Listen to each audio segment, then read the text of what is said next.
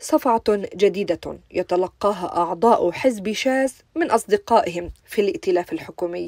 فوزير الأمن القومي إتمار بن كفير اشترط التصويت لصالح قانون تعيين مئات الحاخامات في البلدات والمدن اليهودية مقابل أن يضم إلى مطبخ الحرب.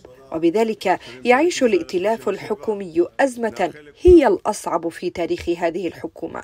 ففي حال لم تتسبب في سقوطها ستجعلها حكومة عاجزة غير قادرة على تمرير قوانين هامة بغياب عنصر الأغلبية.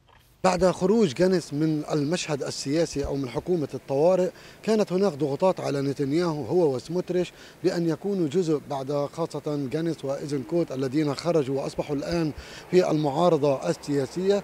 كان هناك ضغوطات بأن يكون سموتريش أو إتمار بن جفير بشكل خاص الذي كان يطالب وفجر هذا الموقف الأخير خاصة بعد أن أعلنت حركة حماس موافقتها ومرونتها على صفقة التبادل. ضم بنغفير إلى مجلس الحرب.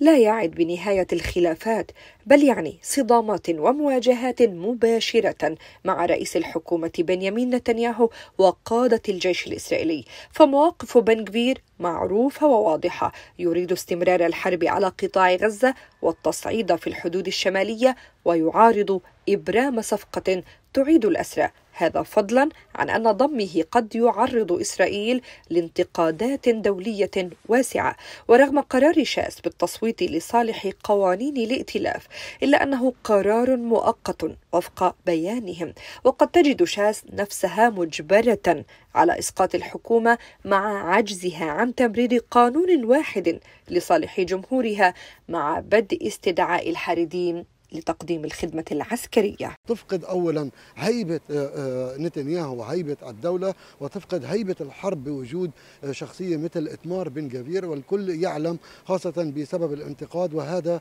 ما سيجعل أكثر لهذا سرب بالإعلام تحت مصدر مسؤول بأنه سوف يكون هو سرا بمعنى. لكن السؤال الأكثر هل يشكل تأثيرا في القرارات؟ واضح جدا أن لدي جزء من القرارات لكن ستكون على الهامش في نهاية الأمر نتنياهو الذي يقرر ما هو الجيد والغير جيد في نهاية الأمر.